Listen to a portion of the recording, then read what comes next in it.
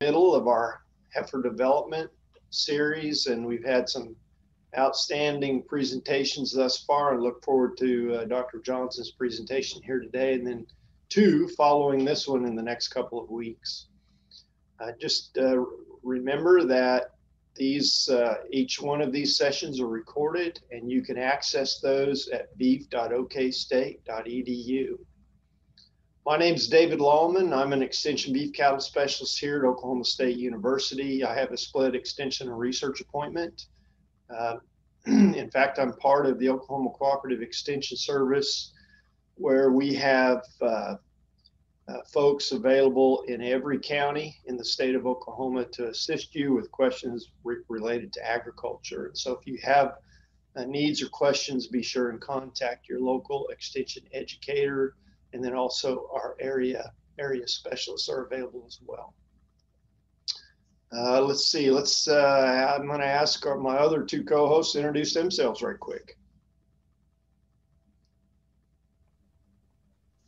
I'll jump in here. I'm Rosslyn Biggs. I am a beef cattle extension specialist as well as the director of continuing education at the College of Veterinary Medicine. We're just excited to have Dr. Johnson on with us uh, in, in a really busy time, I know, uh, for him. And so we appreciate him carving out uh, some time to, to visit with us today and uh, glad that all our attendees could, could join us again. If you've uh, perhaps missed one of the presentations, we do have these recorded and they are available on beef.okstate.edu.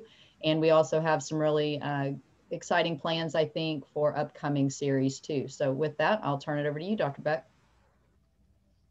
Thank you, Dr. Biggs. I'm Paul Beck. I'm a beef extension specialist as well at the state office in Stillwater. Uh, my focus is uh, stocker cattle and feedlot nutrition and management. Um, I'm once again, this has a, been a great series, and I'm mostly stoked about Dr. Johnson presenting because we almost had a conflict with this because they're actually having some youth events uh, at in Oklahoma City. So I'm I'm really glad that things those kind of things are starting to open up, and and I'm really happy that that Mark could be here with us today. Thank you. Okay, well, with that, uh, as we've mentioned, Dr. Johnson is our speaker today. Just a brief uh, introduction. Uh, Dr. Johnson has been a faculty member here at Oklahoma State University for some time. He also has a split appointment with teaching and extension. Uh, Dr. Johnson has a lot of experience in the area of heifer development as he has made these kind of decisions for many years. Uh, he is, serves a faculty coordinator of our seed stock operation here in the in the uh, food and animal animal and food sciences department, and he's uh, coordinated that facility. I don't know, Dr. Johnson, uh, how many years has it been?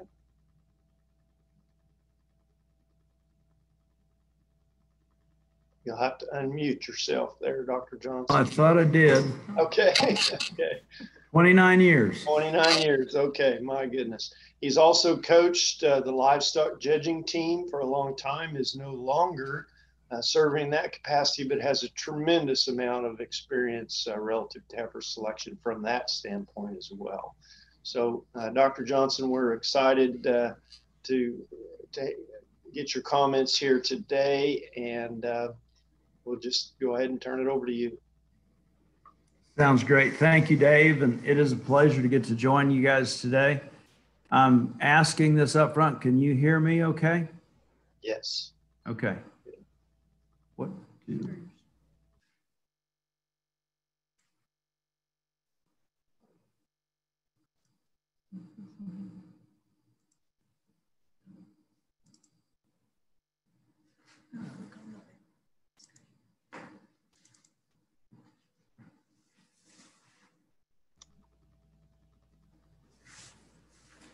everyone see the screen okay? Yeah, looks good, Mark.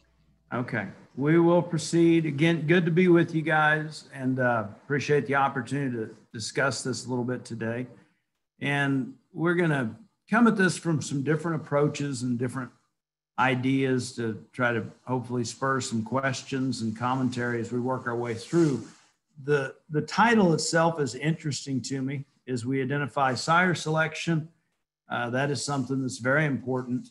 Uh, dystocia, we will define and talk about specific ways that we could select to improve calving ease in cow herds. The concept of performance gets kind of broad, and we'll address that as we work our way through here as well. But uh, sire selection itself is critical to make genetic improvement over time. Um, we know that about 80 to 90% of genetic improvement is a result of sire selection. Uh, for perspective, one thing I always share with students in animal breeding, typically a bull has as much genetic impact in siring one calf crop as the normal cow does in her entire lifetime of productivity. Uh, we can be pretty effective in sire selection for traits that can be objectively measured and quantified with a linear measurement in basing our selection on EPDs. Um, we know that selection based on EPDs is somewhere in the ballpark of seven to nine times more effective than just basing our selection on an individual's phenotype or even within herd ratio. And without getting into the details of matrix algebra and how EPDs are generated, uh, we know that all that individual performance data within contemporary groups, along with relationships within breeds, are all working together to permit us to generate EPDs. And in the past 15 years, um, we've came even further now through DNA testing, and we have what we refer to as genomically enhanced EPDs. So when we can, and if we have an EPD for a trait, selection based on EPDs is going to be very effective. Uh, nice thing about making genetic change or genetic improvement, and I would like to think we could use those two terms interchangeably, but uh, when we build up the frequencies of de- desired genes, and we have those in a population of animals, genetic change is cumulative and permanent.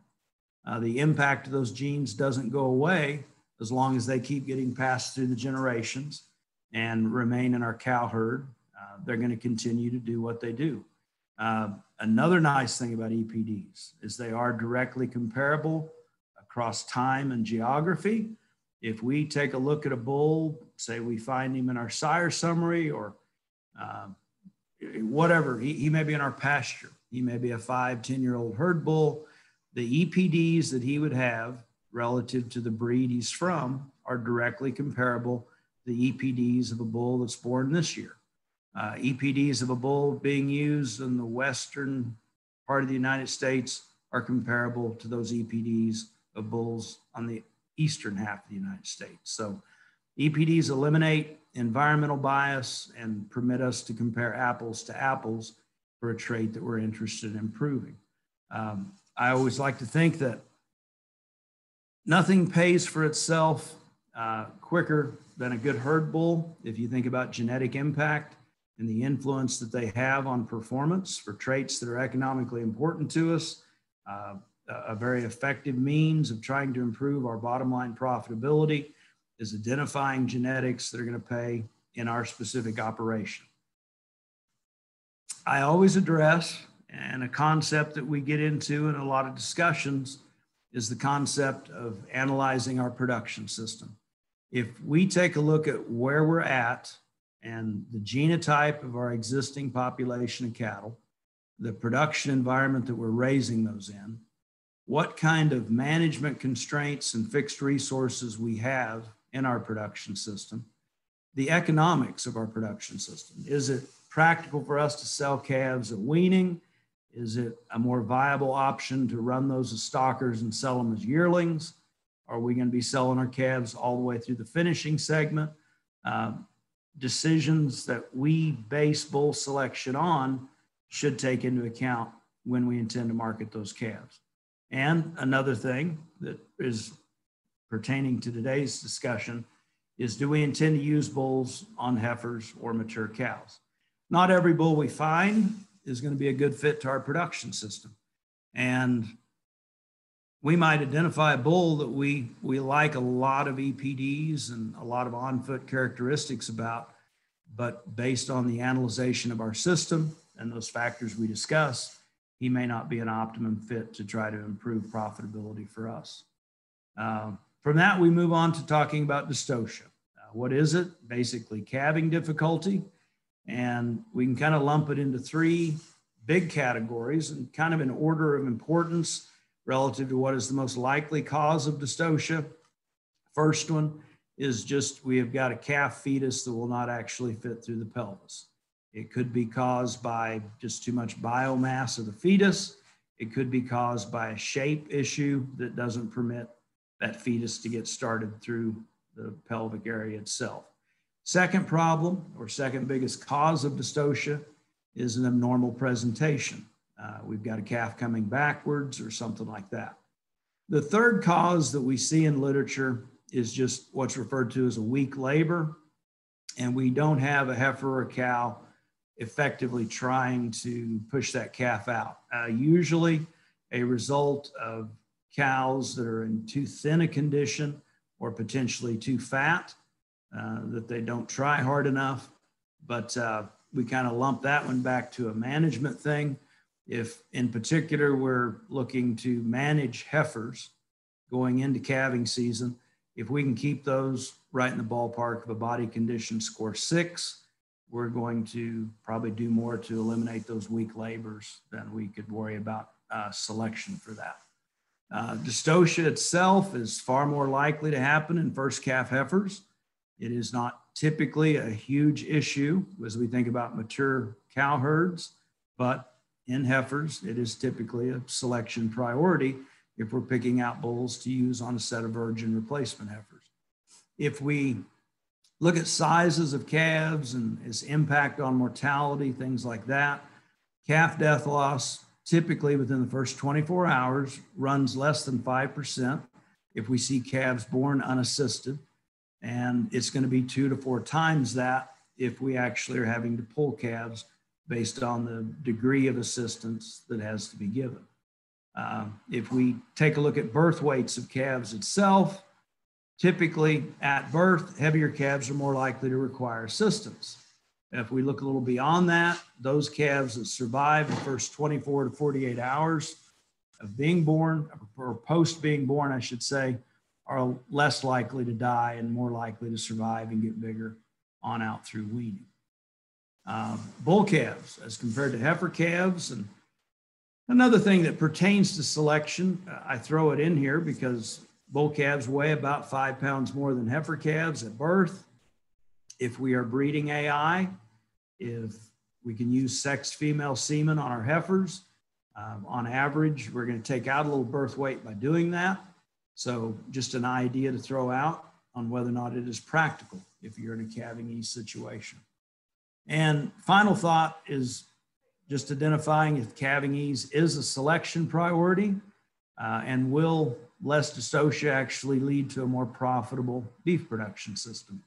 I don't think anybody likes to pull calves. Uh, we have an aging demographic in, in farming and ranching. And uh, I know personally at the age of 56, I'm much less enthusiastic about wanting to pull a calf than I was 20 years ago.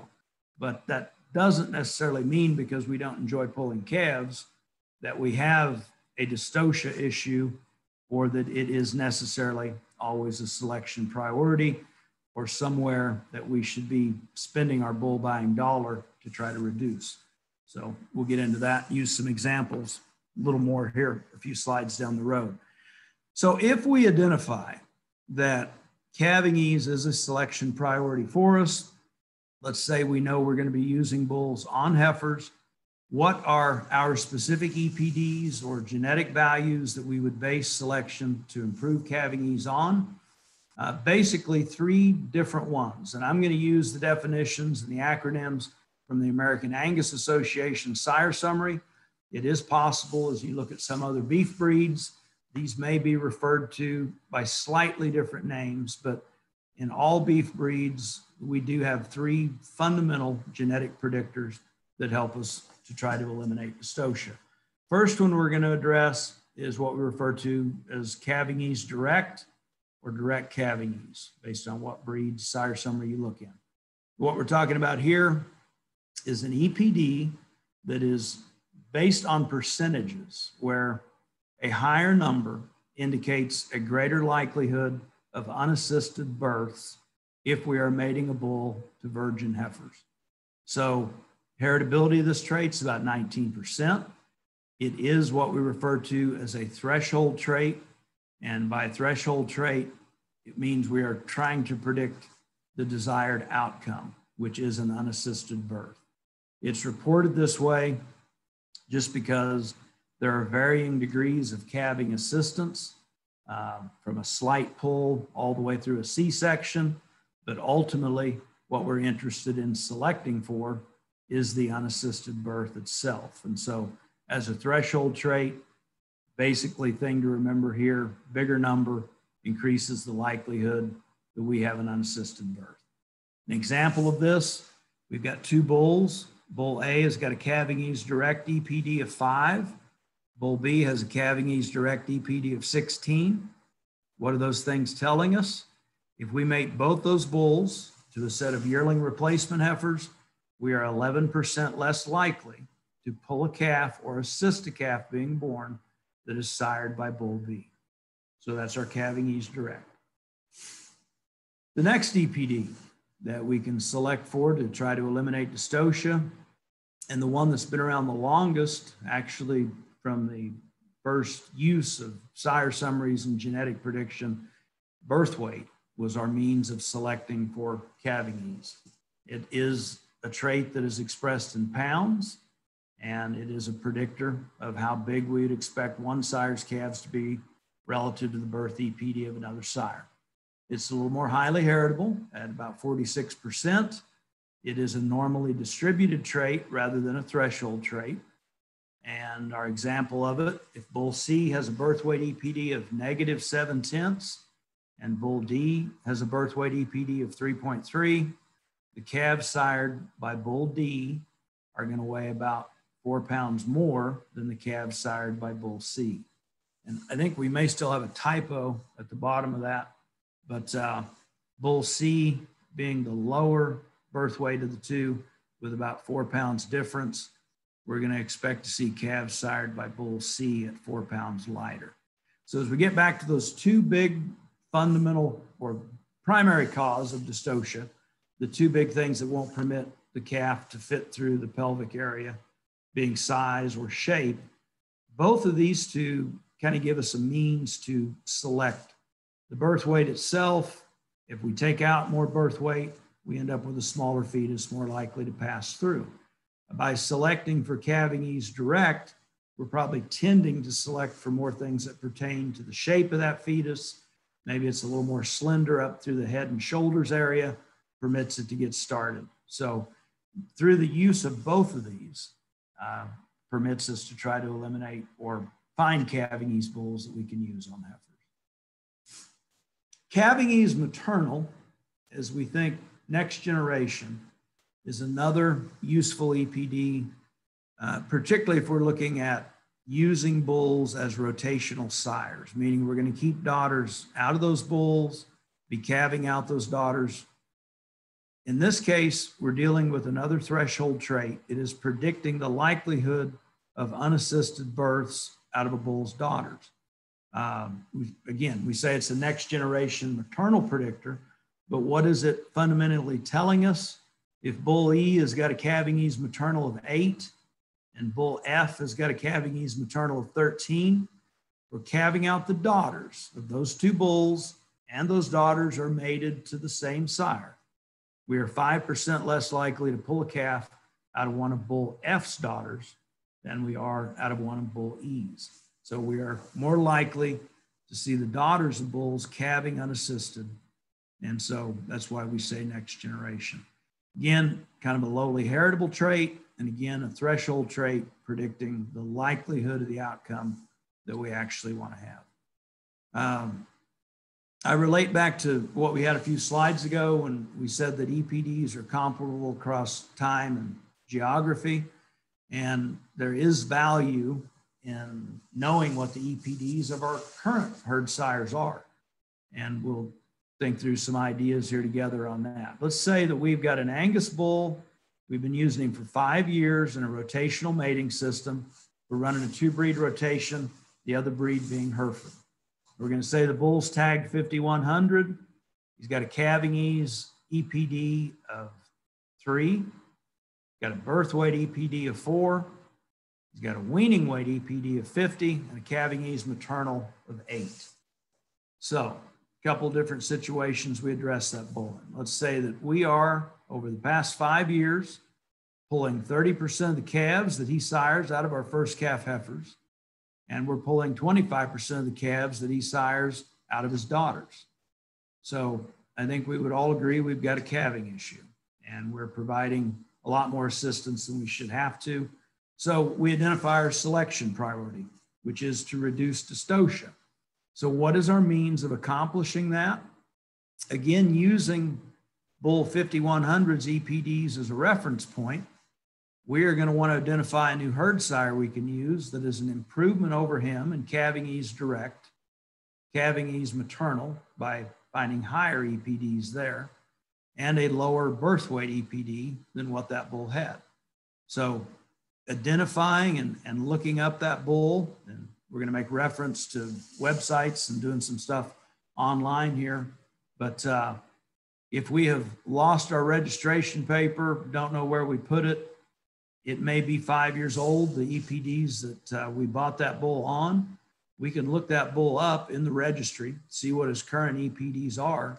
And again, using that as a reference point, it permits us to go out and find a new herd sire to try to eliminate some of this dystocia that we're dealing with by improving upon these three numbers.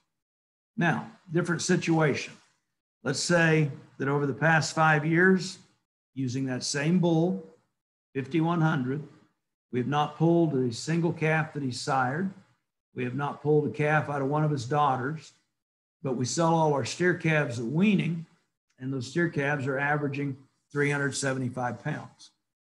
Now, I'm throwing that out as an extreme example not that there aren't some parts of the United States, the 375 pound weaning weight wouldn't be all bad, but it seems a little light as we think about central Oklahoma weaning weights. And so, if this situation and we identify selection priorities, we definitely want to maintain this level of calving ease. So, that bull's EPDs being a reference point we would want to find the next herd sire that potentially improves other economically important traits.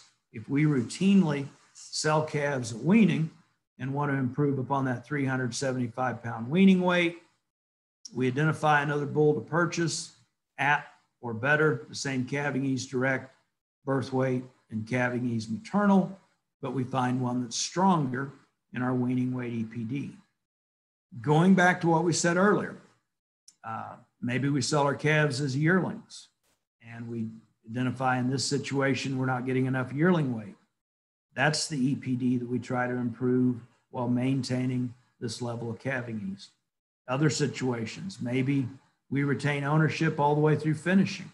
And so it becomes carcass merit and feed conversion and a lot of the growth that goes all the way through the finishing segment that we want to select for and try to improve. And so the concept of improving performance depends on when we intend to market a set of calves and, and what traits we want to identify to improve aside from just calving ease situations. So since EPDs can be compared across generations and environment, knowing the EPDs of the bulls we are using uh, help us to identify where we should be spending our bull buying dollar in the future to improve profitability.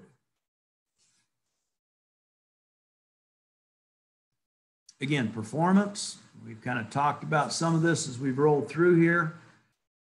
Uh, Dr. Lalman gave me this title to address, and, and it is a it's a very fruitful topic. There's a lot of things we could go into, but performance itself is can be subdivided out into a lot of different categories. And as we think of analyzation of our system and, and identifying herd sires to try to improve our bottom line. That can be in the form of maternal performance, uh, higher percent calf crop wean, higher percentage of cows mature weight that's being weaned off annually, a lot of different stuff there.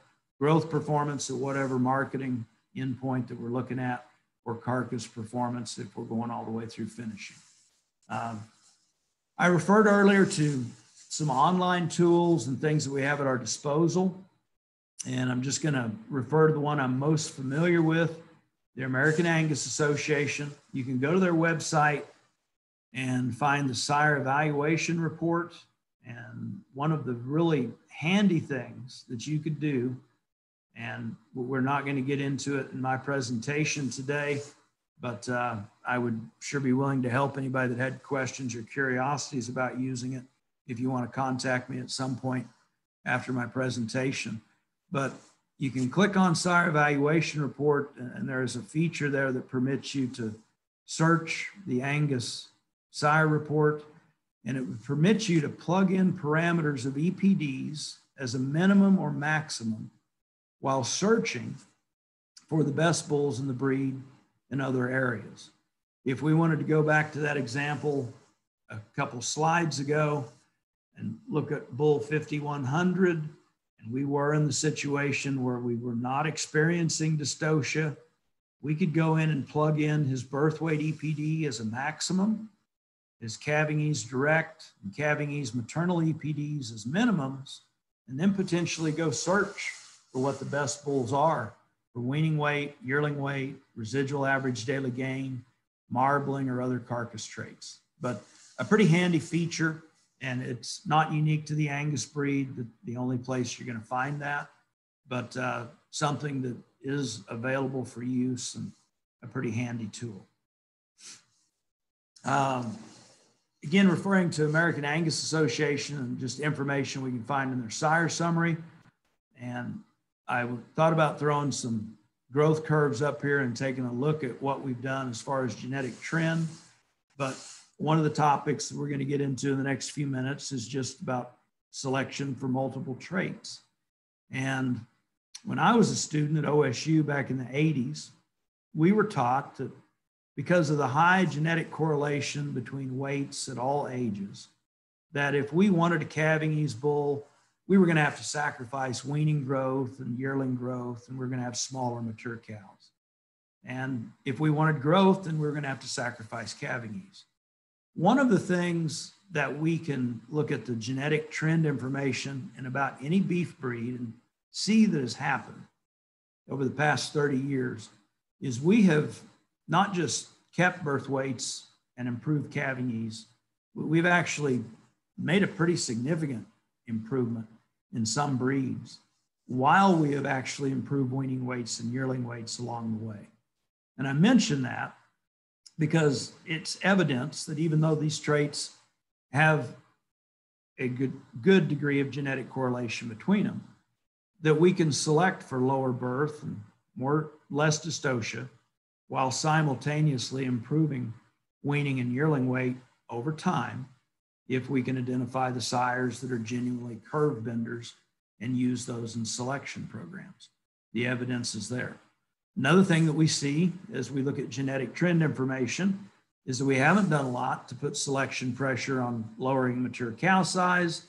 I mentioned that relative to improving performance, uh, one of the things that could improve maternal performance would be to reduce mature cow size. And if we think about some of the indexes or measurements of that, just relative to getting a higher percent of cows on a herd wide basis or cow herds to wean off a higher percentage of their mature weight in some cases could be accomplished as much by just taking a little of that mature weight out as it could be accomplished by doing some other things along the way in the production chain.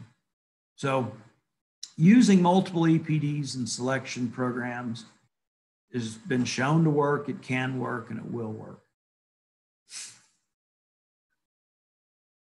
Kind of shifting gears, moving to my next point. Uh, plenty of evidence that tells us that uh, heifers that don't experience dystocia at calving are going to have shorter postpartum intervals. They're going to return to fertile heats earlier the following breeding season. And as a consequence of that, they're going to be calving earlier the following year. Also, evidence that tells us that those heifers that calve easily without dystocia issues just do a better job of milking and raising their first calf. So we think about the significance of that. what does it mean if we avoid dystocia calving out our heifers? We're going to end up seeing a higher percentage of those getting pregnant, calving, and a higher percent calf crop weaned. Uh, we're going to see more calves born earlier the following calving season. And if we have calves born earlier in a calving season, um, figuring that pre weaning calves gain somewhere in a ballpark of two pounds a day. Even if we aren't putting a lot of selection pressure on weaning growth, the typical calf, if he's born one heat cycle sooner, if he's got 21 days more age by the time we wean him off, that's going to equate to a little over 40 pounds of additional weaning weight, regardless of his actual weaning growth potential. So we tend to improve growth performance as a result of avoiding dystocia, if you think about it in those terms. More pounds of calves weaned per exposed female. And again, entire cow herds weaning off a higher percentage of their mature body weight are all impacts of avoiding dystocia, seeing more heifers get bred quicker as two year olds and calving a little earlier as three year olds. And bottom line profitability as a consequence of that is going to improve. Um, final thoughts uh, calving ease is very important. It doesn't always mean that calving ease is a key to profitability based on where we're at with it right now or whether or not we're using a bull on heifers. But bull selection itself is critical to profitability. Um, you want to select bulls with the genetic potential to add profitability to your production system. And I throw out a question, and this is one of the survey questions that you got as well. But uh, everybody weigh in with an opinion on this. We are going through our pastures calving season. We find two newborn calves. The calves are vigorous, they're healthy, they are nursing, and they already have a belly full of colostrum. We got calf 2101 that weighs 58 pounds. We got calf 2102 that weighs 75 pounds. Which calf would you rather have? Which calf would you rather find? Dave, is it possible to get some responses here or chat questions? You bet they can they can just type it in the chat. We encourage you to do that. But Mark will, uh, if you want to go ahead and finish up your summary there, I'll I'll uh, read read those off to you as we go Okay. along. Looks like most everybody's voting for 75 at the moment. 75 pound calf. Sounds good. And my final thought is profitable beef production is more likely to result from selection for multiple traits of economic importance than selection for extremes in one or possibly just a handful of traits. Uh, kind of a balanced approach based on identifying profit centers, what traits are going to relate to those profit centers, and trying to base bull selection and spend our bull buying dollar on all the things that are going to lead to profitability for us. With that, open it up to questions. Excellent. Thank you, Dr. Johnson. I've got a few questions here. Folks are still voting on those two calves. Uh, let's start off with, uh, let's see. In the Q and A, we've got a question about your thoughts relative to selecting for shorter gestation lengths. It's a good question. I, I think one of the things we have seen in the past 30 years is as we select for a long time we didn't have a, a calving ease direct epd to select for but as we selected to keep birth weights down and lower birth weights we indirectly selected to reduce gestation length and i think that we find in a lot of beef breeds that selection for lower birth weight and improved calving ease has taken some gestation length out. Okay. All right. So next uh, question about distinguishing between genetic improvement and herd improvement. Genetic improvement versus herd improvement? Yes. I'll, I'm going to address this as I would understand the question. Uh, I think, let me, and I may not be interpreting the question right. So I'll take a stab at this, and if we need to, to go at it again, we can. But I think as we look at our production system and, and get back to some of that stuff that we addressed there early on, if our production environment and our management system is fairly constant year to year, and we're marketing calves at the same time, managing our cow herd the same way. So that part of it is consistent. That genetic improvement, if we're identifying the, the right traits to improve in our production system that lead to profitability, genetic improvement should lead to herd improvement. And that may have been a swing and a miss at the question. If so, we can clarify the question and go again. All right. Sounds good. So Moinina, if you uh, if you'd like uh, more clarification, just just jump in there and type uh, maybe an extension of the question. So Dr. Johnson, next question. Uh, what is the heritability for average daily gain, weaning weight, and yearling weight? heritability of average daily gain, weaning weight, and yearling weight? Yes, sir. They're all going to be traits that fall somewhere in that moderate degree of heritability. Uh, depending on the sire summary or what literature you look at, generally growth traits are moderately heritable, meaning they're going to fall somewhere 25 to 45%. Right. Very good.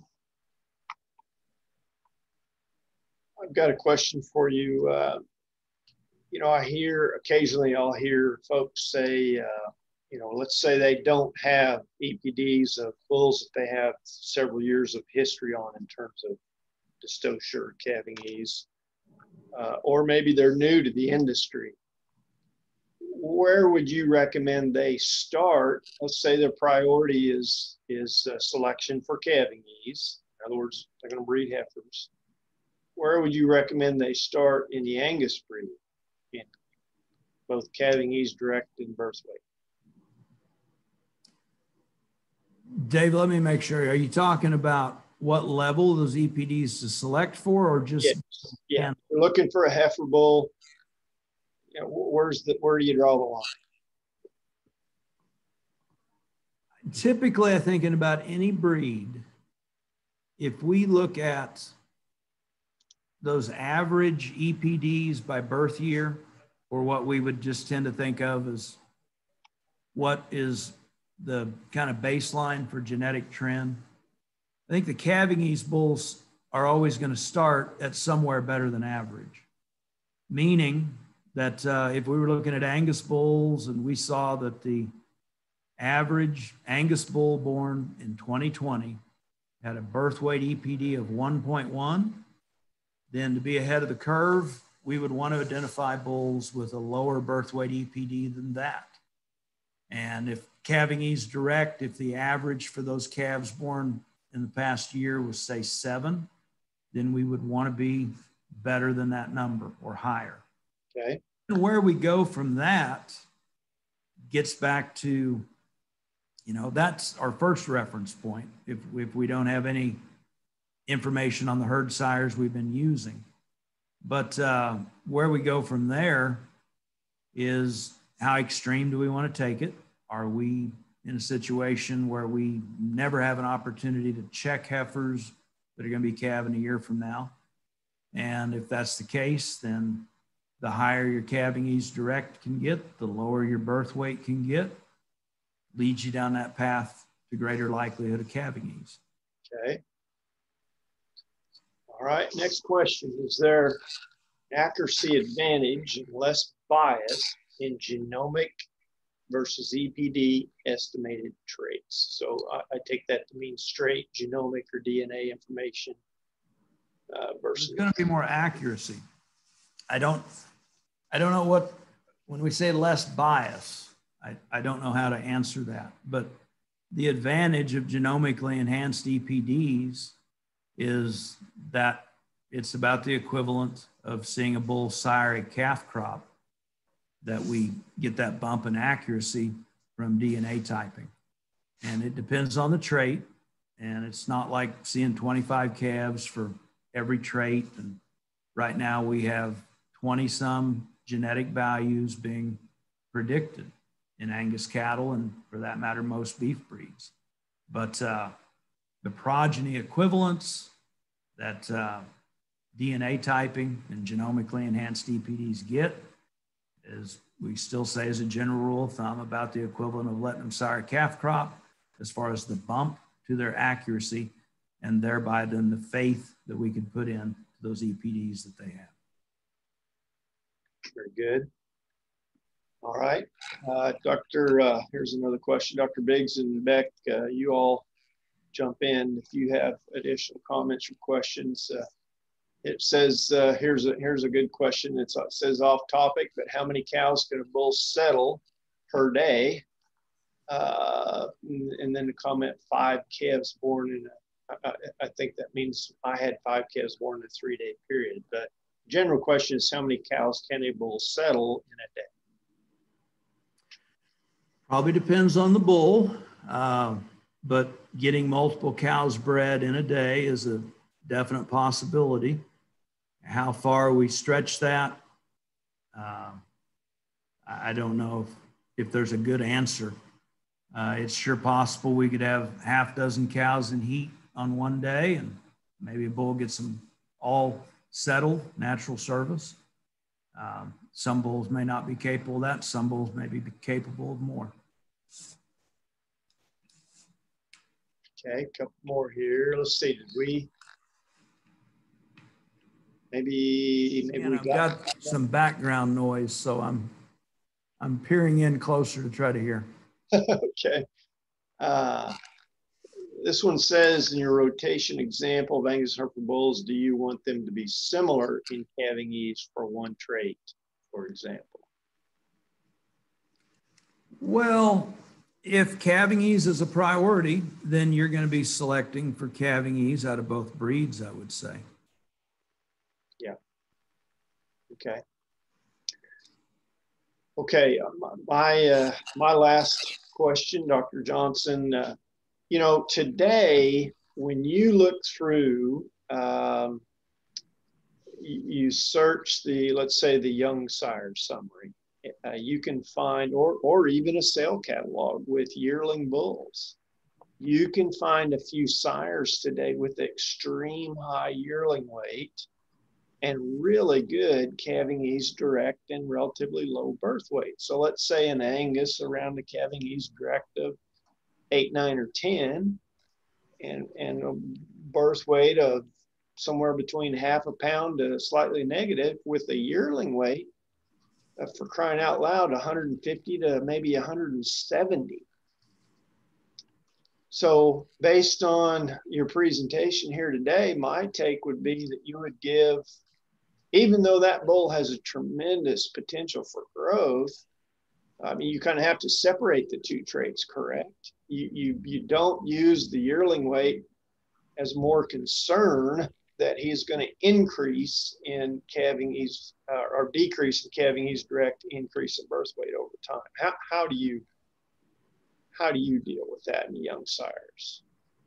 Well, I think that that's the benefit of having EPDs is that there is so much data that's been taken into account at this point that we're able to base those genetic values on. That if we've got, even in young sires, um, if it tells you that you're looking at a low birth weight EPD and a high weaning or high yearling EPD, that is our best estimate of their genetic potential to transmit to those traits. And so particularly in the situation where maybe they've got genomically enhanced EPDs, they've already been DNA typed, and we've got even higher accuracies with them, even though they're young sires. Uh, I, I think you can you can pretty much look at them without casting a suspicious eye. You can say, "Wow, okay. that's a genuine curve bender." Yeah, and it is through you know looking back again I know I didn't put the charts and tables up there of genetic trend, but uh, we can we can go back and name names of sires that have been identified going back to the early 1990s that were the the bulls we identified that were low birth, high growth that got us to where we are today. So I think that's one of the great benefits of EPD based selection. Mark, I have a, a, a question to just get you a, to give a statement on this because I keep running into. Paul, I appreciate the resonance of your voice. There's a lot of background noise here, so uh, please go ahead. I didn't mean to interrupt you. Go ahead. Right now, I'm embarrassed, but I keep running into um, operations or producers that identify a, a calf out in, on pasture, you know, maybe purebred or somewhat purebred, but just has some eye appeal, you know, low birth weight, um, probably not even weighed, but appears to be low birth weight. And they'll select that as a uh, herd sire. Um, you know, no registration, no EPDs uh, to, to go along with that. Um, can you kind of touch touch on the desirability of, of doing that and, and some of the risks involved? I would refer back to, can I go back through my slides? Oh yeah, sure. it's working now. Early on, when we talked about selection based on EPDs is seven to nine times more effective than using weights or performance data alone or even in herd ratios. And so, Dr. Beck, where I'm coming from there is it's sure possible we might identify a, bull that we didn't weigh, may not be a purebred, may not be registered, and he may work for us. He may accomplish what we want to accomplish. Uh, but we're seven to nine times more likely to be identifying the right genetics for us if we can base that off of an animal that's pedigreed, going to have to be pedigreed in order to have EPDs and identify the, the traits that we want to improve and, and select on EPDs.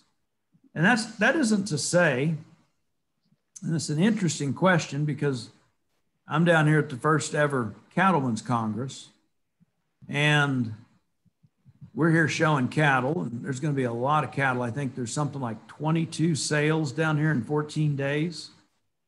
And there's going to be a lot of cattle bought and sold at this event that we're going to get outside of traits that can be objectively measured and quantified with a number.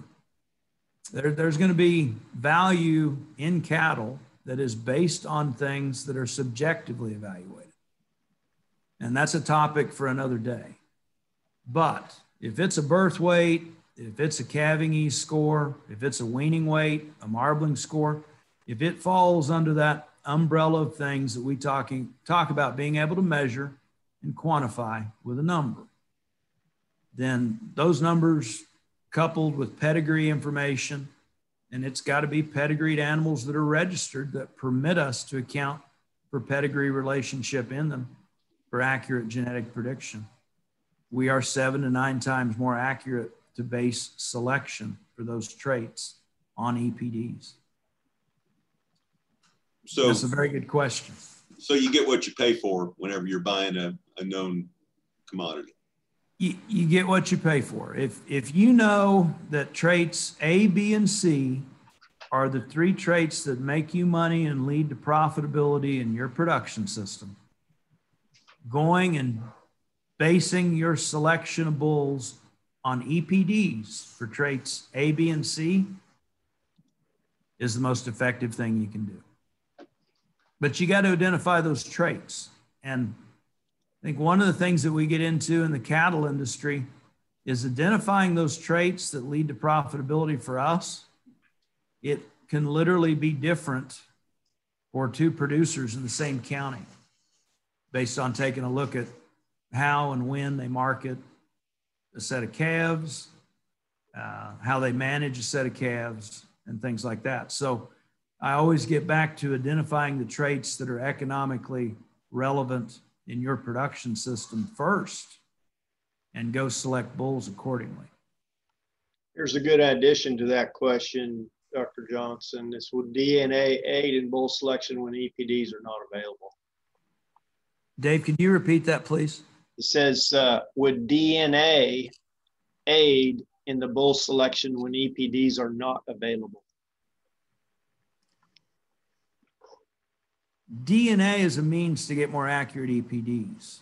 So if we, eh, again, we're getting a little, we're going outside the box here a little bit, but let's say, for example, I've got a bull from breed X. He's a registered pedigreed bull. I'm going to contact my breed association to submit DNA on that bull. And they'll show me the right paperwork and how to go about getting that done. And accordingly, they're going to take a look and that's going to tweak and change his EPDs and boost the accuracy associated with each one of those EPDs. So if I go out here, let's say I I see my a bull calf of my neighbor's running around in his pasture and I like him. And so I go buy the bull calf, grow him out. He's a yearling. I don't know what breed he is. I don't have a pedigree. No, that basically is the answer. I can't just send off DNA somewhere and get a set of EPDs on that bull. Am I making sense? Yes. Okay. Yeah. Okay. Well, outstanding. Uh, great turnout today. Thanks everyone for joining us. Uh, uh, don't uh, miss next week, Dr. Jordan Thomas. Uh, he he is going to give us, uh, you know, confident that those of you who are interested in artificial insemination, improving your efficiency with those programs, he is going to have tremendous information for us. You know, if you got some of these bull stud catalogs this year, you, you probably noticed a brand new synchronization protocol for beef cows. Uh, the preliminary data on that synchronization protocol is outstanding, and that comes directly from their laboratory there at the University of Missouri. He is one of the leading experts right now in the country on that topic. So I sure hope you'll uh, join us next week. Thank you, Dr. Johnson. We asked you please uh, fill out your survey as you as you leave the meeting here today. Dr. Biggs, Dr. Beck, anything else? I just thought we might um, have Dr. Johnson maybe address his question a little bit. Uh, we had uh, the majority of votes, of course, were for the heavier calf, but we did have a couple for the smaller calf. So um, yeah. maybe we're cheating our survey a little bit, but um, Dr. Johnson, you want to address address your question maybe with uh, yes, I would be glad right to, answer? and I I'm glad you brought that up because I thought that would uh, lead to some discussion, and we almost forgot to talk about it very much. But I, I'm curious, Dr. Biggs, what was the consensus again on the the response to that? I don't have the exact count, but just kind of going through the chat, I think we probably had eight to ten for the heavier calf and um, two or three for the lighter calf. Okay. Well, I'm, I'm going to give my perspective on this. And again, I don't think anybody wants to pull a calf. Uh, so I'm throwing that out there first. I know I don't. I've never really met anybody that did. What we want to find, whether we're calving out our heifers or our cows, we want to find healthy, vigorous calves that have nursed and are off to a good start. And so, if we reduce birth weight, yes, that is a means to get less calving difficulty. But once we get to that threshold, if we've achieved, we've, we've reduced or eliminated dystocia, then I would rather have the extra 17 pounds of calf at day one than a lighter calf. And if they're both born unassisted and they're healthy and going, we should have accomplished, we should have gotten to that threshold. So that would be my take on it. And, you know, just looking ahead, if we wean all those calves on the same day, Well, we started off with one that was 17 pounds heavier. So we basically had 17 pounds of weaning weight in him on day one, uh, regardless of what, you know, they both weaned off at later or whatever weight we sold them at. So I, I think we want to accomplish calving ease, but when we get there, a lighter calf isn't always necessarily better. All right, very good. Does that lead to any further chat questions? I don't see any right off the, right offhand. We, as Dr. Biggs mentioned, we did have a couple of uh, votes for the lighter calf. I think one of them said that uh, indicated uh, they preferred the lighter calf because there'd be less stress on the, on the female, on the cow. You'd like to, like to comment on that? Well, I, I guess as I pose the question, I, I'm throwing out there that if both calves are up and vigorous and born unassisted and nursing, that there wasn't much stress on either of the cows that had them. Yeah. And, and obviously, if, if one of them, if it was a four hour labor versus a four minute labor, that would be a different factor to take into account. But I, I, my response is based on those things being equal and a stress-free labor in both cases. Okay. Very good. Thank you again. Thank you, Dr. Johnson. Look forward to seeing you next week and Happy New Year. Thank you, Dave. Thank you again, Mark.